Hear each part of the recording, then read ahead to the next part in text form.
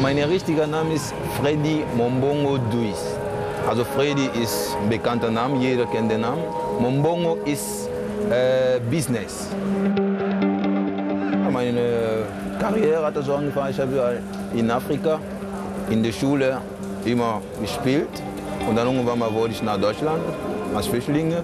Und dann ähm, von da hat meine Karriere bei Fortuna Köln, bei Fortuna,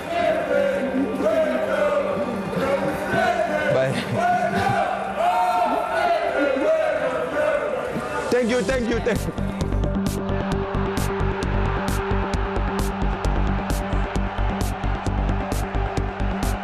Eén match en Freddy Mombongo is al een held op de Bosuil. Een man van twee doelpunten en een man met een verhaal waarnaar je luistert. Na vijf jaar en zes ploegen in Duitsland kwam de 26-jarige Congolees bij tweede klasser Eupen terecht. Toen al kreeg hij een rood-wit signaal. Mijn eerste Spiel hier in Belgien war hier in Antwerpen. Das hat mir direkt sofort in Deutschland erinnern. Also wenn man hier diese ganze breite Stadion hier sieht und die Stimmung, den Fan, also das ist unglaublich. Das ist genau wie jeden Wochenende heim. Met 28 doelpunten in twee seizoenen zorgde Mombongo mee voor de promotie naar eerste van Eupen. Bij Bergen dit seizoen verloor hij de strijd om een basisplaats van topschutter Perbe. Mombongo wilde spelen en koos in januari voor Antwerpen.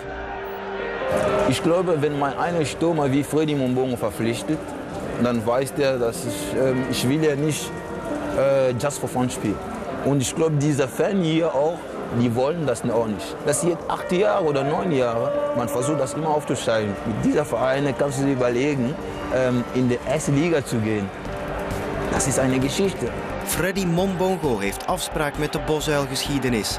Een afspraak die hij al een heel klein beetje nagekomen is. Die singen ja schon mein Lieblingslied von AS Open Mombongo. Oh, Mombo, das singen die schon. Das ist was Tolleres. Und gerade erst Heimspiel, man sofort zwei Tore. Besser geht nicht.